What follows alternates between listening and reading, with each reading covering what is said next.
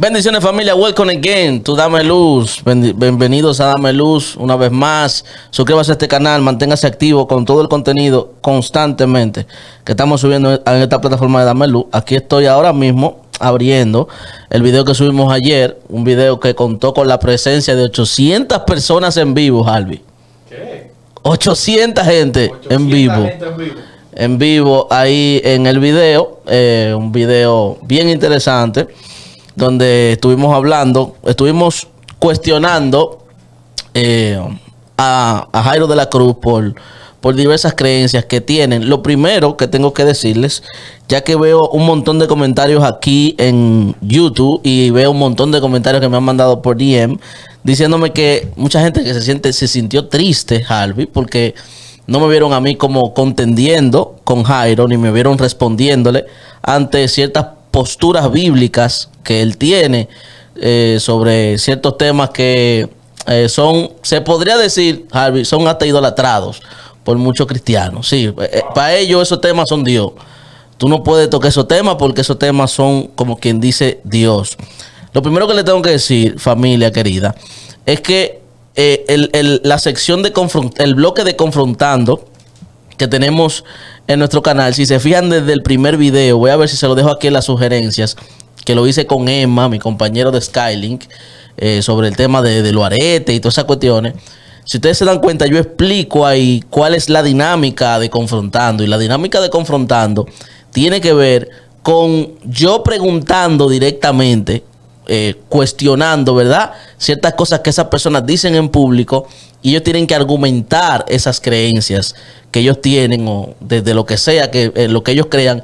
Y el público será su juez, será quien lo va a, a, aplaudir o a condenar. A, condenar. ¿Me entiendes? y, yo creo que no hay mayor condenación que, ver los comentarios de mucha gente eh, cuando, cuando se hablan este tipo de temas y, este tipo de, cosas. Eso es una cosa horrible. Eh, lo que dicen mucha gente. Y esa es como la presión y la, y la intriga que deja ese contenido de confrontando. El contenido no es para yo argumentar. E, e, ese contenido no es para yo de que entra, eso no es un debate. Si fuera un debate que yo hubiera tenido con, con Jairo de la Cruz, entonces yo si te digo que ahí yo tenía que asumir ciertas posiciones. Lo que sucede es que hubieron cosas que le hicieron tanto ruido a ustedes eh, que que ustedes entendían que yo tenía que, responder. Ahora bien, le explico eso porque yo sé que la mayoría de las personas que están comentando de esa forma no conocen el formato del bloque de confrontando. Les aclaro primero por ahí para que vayan sabiendo. Ahora bien, para que ustedes no queden como en esa laguna y como dicen, Harvey, dicen que el que calla, eh, ¿cómo que dicen? El que calla otorga. El que calla otorga, efectivamente. Ok, yo me gustaría aclararles cuáles son mis posturas frente a las diferentes cosas que se hablaron ahí. Para mí, número uno, para mí Jesús es lo más importante. Nuestra fe en Cristo Jesús es lo más importante. De que Él murió en la cruz, derramó su sangre, entregó su vida, que eso es lo que significa, entregó su vida a cambio de la nuestra, para que nuestra vida sea juzgada por la de Él. Y como la de Él fue perfecta y sin pecado, cuando eh, se nos juzgue por nuestra vida, pues vamos a ser encontrados santos y salvos por Él, porque es la vida de Él la que vive a través de nuestra vida. Y ese sacrificio es el que nos salva. Y para mí esa es la verdad más grande que existe. Eh, el que se meta con eso se está metiendo directamente conmigo. Esa es la verdad más absoluta que existe, que Dios es real, que Dios existe y que Jesucristo se entregó por cada uno de nosotros por nuestra salvación. Esa es, ese es el fundamento de nuestra fe. Murió y resucitó, que es realmente lo más poderoso del mensaje. Él resucitó, Él venció a la muerte. Y por lo tanto ya la muerte no se puede enseñorear ni de mí, ni de ninguno de los que hemos creído en esta gran verdad. Ahora bien, alrededor de eso hay un montón de cosas que las religiones se han, se han inventado, por así decirlo. Y hay cosas que uno las respeta porque son parte como de nuestra liturgia, de nuestra práctica religiosa, pero en esencia no son Dios, no son no, son algo imprescindible para nuestra salvación y para nuestra fe. Es importante que usted entienda eso. Los religiosos han inventado un montón de, de, de, cosas absurdas, eh, de que doctrina cardinales, de que qué sé yo qué, que para tratar de, sectorizar y dividir la fe. Pero la verdad es que lo más importante que usted cree en el Señor Jesucristo y, y acepte al Señor Jesucristo en su corazón. Yo indiscutiblemente creo en la venida de nuestro Señor Jesucristo. Cristo viene. Ese mensaje nunca va a pasar de moda, nunca se va a acabar. Cristo viene, señores. Jesucristo viene. Es el propósito de la iglesia, de que cuando Él vuelva encuentre fe en medio de nosotros. Cristo viene y eso es indiscutible. Ahora bien, las formas en las cuales la gente interpreta esa venida han variado en el tiempo. Y hoy en día hemos asimilado diferentes creencias. Los adventistas creen una cosa, eh, um, los, los, metodistas creen otra, los bautistas creen, eh, creen de una manera y, los pentecostales creen de otra manera. ¿Me entiendes? Entre esas creencias está la, la doctrina del rapto, que no, que en esencia no tiene un origen bíblico, no tiene un origen bíblico. ¿Entiendes? Yo estoy convencido de que Cristo viene. Ahora, esa idea del rapto, de que, de que, de que Dios no, va, no, viene de que a robar a nosotros, y de que, vamos a quedar, de que, de que nos vamos y se, que se queda la ropa, y, y un avión chocó, y, una, y una camioneta se volcó, y que, desapareció. ¿Y dónde están? Y, desaparecieron. ¿Te entiendes? No, creo, no creo que eso sea lo, lo más bíblico eh, a interpretar. Fue lo que se nos dijo, fue lo que se nos pasó de generación en generación. Pero ya que nosotros tenemos acceso a la Biblia con tanta libertad, entiendo que podemos pensar, podemos reflexionar y, saber decir, bueno, esto es bíblico, esto no es bíblico. ¿Me entiendes? Por ahí, esa, es mi, esa es mi postura con respecto a lo del rapto. Si Jairo cree que Cristo viene o, no viene, eh, esos son problemas de él. Del profesor, que lo, quiero mucho, lo respeto mucho. ¿Me entiendes? Eh, pero esos son, esos son asuntos de él. No creo que él crea que Cristo no viene, porque he conversado eh, con él esos temas y él, cree que Cristo viene, él no cree en la doctrina del rapto, que así le, hemos puesto, le hemos puesto, malinterpretando eso que dice en Tesalonicenses cuando dice que él nos, ah, dice la palabra al paso, es una palabra griega que es como arpón, como que, como que, ¿me entiendes? Como que te jaló.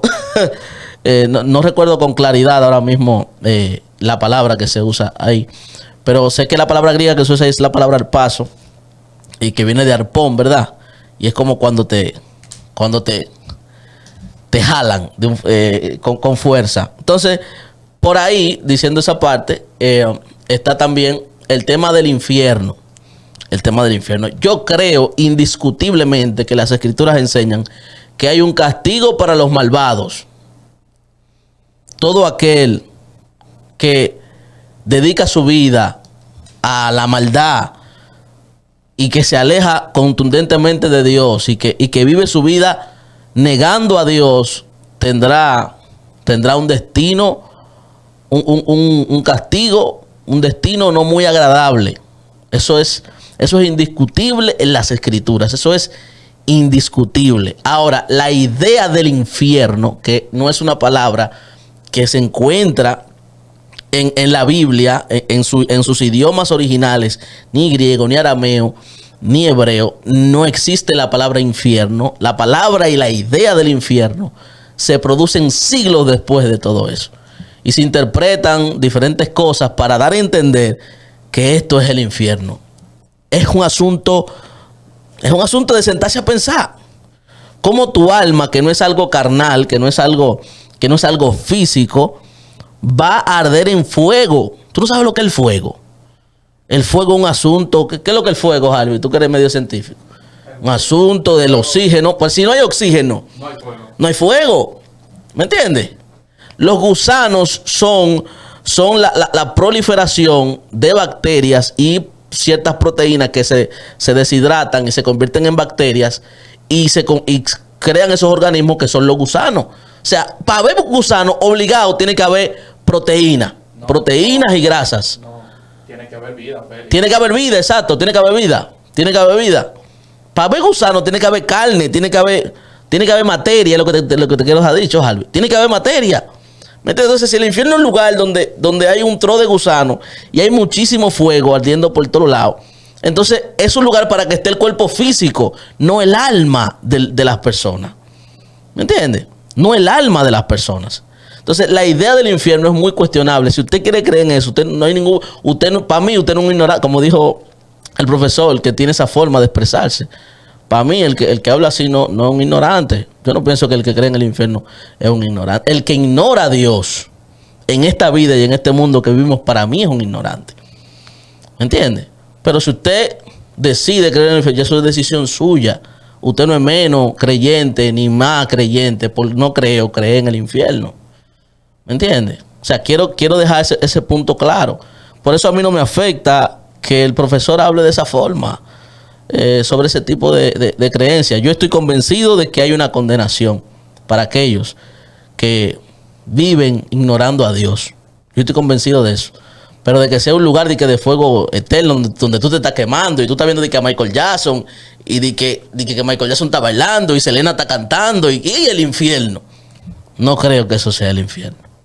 No creo que, que eso de esa forma, así como hemos entendido y hemos interpretado, exista. Yo en lo personal, mis amados, yo, yo me considero pentecostal.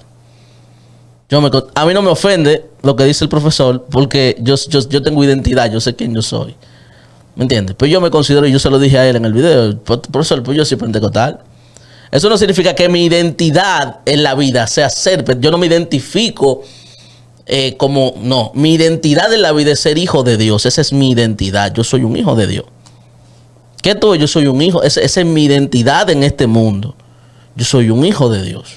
Yo soy un heredero del Rey de Reyes y Señor de Señores. Esa es mi identidad. Ahora, dentro de mi libertad que tengo en Cristo Jesús, he decidido la liturgia porque para nosotros en nuestro país, ser pentecostal no es una doctrina, es, es, más, es más una liturgia que una doctrina, aunque tiene que ver con una doctrina. En Colombia, ser pentecostal es ser unicitario.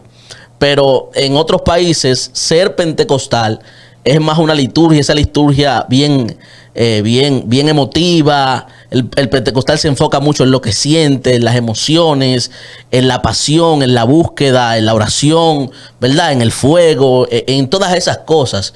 Yo me identifico con eso y me gusta expresar mi fe hacia Dios como un pentecostal. Me gusta el fuego, me gusta la bulla, me gusta que nosotros guiados por la emoción, hemos entrado en muchísimos errores, ¿cierto? Claro que sí. Nos hemos emocionado muchísimo eh, y hemos inventado un montón de cosas que tal vez no son, no son bíblicas, que hemos abusado de, la voz de Dios, porque es cierto, hay muchísima gente normalmente que son pentecostales y ven diciendo, Dios me dijo, Dios me habló. ¿Me entiendes? Que, no, eh, Dios, que Dios me dijo esto, que es cierto, hemos abusado de eso. Pero eso no significa que, nosotros somos el estado de pudredumbre, como dijo el profesor, el que del cristianismo. Eso no es verdad. Eso no es verdad porque los cristianos somos, los cristianos, eh, eh, los, los, pentecostales, eh, el pentecostalismo es una liturgia religiosa. Es una liturgia. Yo no soy pentecostal porque mi fe no depende de ser pentecostal. Mi fe depende de que yo estoy convencido de la realidad que es Dios en mi vida. De eso que depende mi fe. Ahora yo expreso mi fe y comparto mi fe con mis hermanos con la liturgia pentecostal. Me gozo los coritos, me gozo. Y en mi iglesia ni siquiera somos, somos, somos más pentecostal que otra cosa, pero no hay ni siquiera de que denominaciones, ni, liturgia, ni, nada de eso. Nosotros somos interdenominacionales. ¿Me entiendes? Entonces, creo que eh, el profesor tiene esa forma de, aún así, yo lo, aprecio mucho, lo quiero mucho. Y esa es la maravilla del reino y de entender el amor de Jesús. Tenemos nuestras diferencias. No estamos de acuerdo en la mayoría de las cosas, pero en lo esencial estamos de acuerdo. No tengo por qué faltarte respeto, no tengo por qué, eh, no tengo por qué acabar contigo, ¿me entiendes? Por eso a mí usted nunca me va a ver hablando mal del profesor, no, nunca, nunca me va a ver en eso aunque nunca estemos de acuerdo, yo nunca me eh, voy a, me voy a poner y que hablar mal de él. ¿Entiendes? Entiendo que no está bien usar ciertas expresiones, principalmente contra los pentecostales. Y más cuando, cuando el profesor sabe que él vino de ahí, de, cuna de ahí, es su, su cuna. ¿Me entiendes? Y, entiendo, profesor, eh, que, que um, estamos actuando igual que, que, lo, que lo, lo pentacola, como usted le dice, extremadamente religioso que viven atacando, ¿verdad? Eh, basado en su creencia, viven atacando a los que no creen igual que ellos. Si tenemos una creencia, eh, sea eh, muy estricta por la Torah y todo eso, o, como sea, o muy correcta, y vivimos atacando a otra persona de esa posición, estamos haciendo lo mismo. ¿Me entiendes? Entonces sería bueno que reflexionemos sobre todo esto, que no nos dejemos engañar y que no perdamos el enfoque en Jesús. Con respecto al tema de, del cannabis y de esa conversación que él tuvo con, con Alejandro, eh, yo entiendo, eh, o sea, en, mi perspectiva, por eso le hice la pregunta a él, ¿usted no cree que no fue sabio decirle eso? ¿Me entiende? Yo entiendo que incluso, incluso la respuesta verdadera en esa situación de Alejandro es que sí es pecado. Aunque tú entiendas que bíblicamente, tú, tú interpretes que bíblicamente el uso del cannabis no es pecado, hermano, por la situación que tiene Alejandro, digamos, como, como, como el profesor le expresó en el video, él no, él no, eh, él no, estaba consciente de la situación de Alejandro. Bien, pero si tú sabes que él viene de un mundo donde eso era un desorden, ¿tú entiendes? Es como yo decirte a ti que tú eras alcohólico, tú me preguntas a mí, eh, ¿beber vino es pecado? Yo te voy a decir, para ti sí lo es. Para ti es pecado. o sea, yo te voy a decir que un rotundo sí, porque verdaderamente sí lo es, porque tú tienes una debilidad natural hacia eso y si eso te domina, ya tú estás en pecado. Porque es cierto, todas las cosas me son lícitas, no todas las cosas me convienen. Todas las cosas me son lícitas, yo no me puedo dejar dominar de ninguna.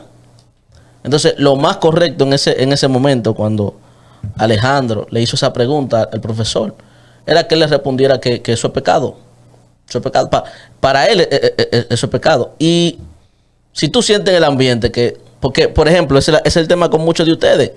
Muchos de ustedes andan buscando saber si jugar Free Fire es pecado, hacerlo con libertad. Porque muchos de ustedes sienten remordimiento cuando están jugando Call of Duty o Free Fire. O están haciendo algo que ustedes sienten que es pecado. Ustedes quieren saber si una cosa es pecado para sentir una licencia para hacerlo. Y si, y si para ti es ofensivo, si tú sientes que eso que, te gusta tanto hacer te aleja de una forma de Dios o te aleja de los propósitos de Dios, hermano, suelte, suelte eso. No busque cómo justificarlo. Yo, en lo personal, viendo esa situación, ah, eh, eh, juzgando así en mi mente, ¿verdad? Sin, sin, sin ánimo de condenar, yo entiendo que que Alejandro tal vez, como tenía esa debilidad fuerte, andaba, una andaba buscando una forma de justificar esa debilidad que él tenía. que ama mucho a Dios, quiere servir a Dios, pero andaba buscando una forma de justificar eso y andaba buscando a alguien que le dijera que sí. Porque, ojo, yo estoy consciente de que no fue solamente a, a, Jairo que le hizo esa pregunta sobre el cannabis. No fue solamente a Jairo. ¿Me entiendes? Él andaba buscando una gente que, que le dijera. Entonces, desde mi punto de vista, no fue sabio responder esa, esa, esa parte. Aunque de igual forma también respeto a Jairo, porque Jairo siempre trata de decir lo que él entiende que es verdad, que es, mucha, es algo que muchas veces nosotros no hacemos. En esa parte lo respeto, profesor, pero entiendo que no fue lo más sabio eh, de su parte expresarse eh, de esa forma con, con Alejandro. Mire la situación en la que él está ahora mismo, ¿me entiende? Pero ese video con el profesor no era un debate y es algo que yo necesito que ustedes entiendan. No se sientan mal, vamos a seguir, vamos a seguir expandiendo eh, este asunto eh, de una forma impactante. Suscríbase a este canal, active las notificaciones. Dios le bendiga de manera muy especial.